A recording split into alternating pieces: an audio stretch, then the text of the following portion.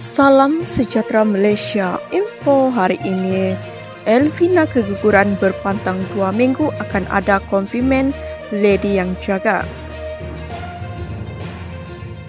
Selesai menjalani prosedur pencuci rahim pada petang selasa akibat keguguran anak kedua, pelakon Datin Elvina Muhammad akan berehat menjalani pantang selama dua minggu.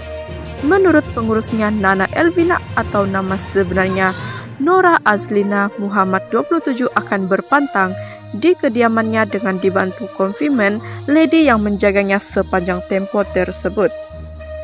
Elvina akan berehat dan berpantang di rumahnya selama dua minggu dan akan ada konfirmen lady yang akan membantu dan menjaga dia. Buat masa sekarang keadaan dia sedikit drowse selepas jalani prosedur mencuci rahim sebentar tadi, kata Nana ketika dihubungi media sosial. Sekian info hari ini. Terima kasih.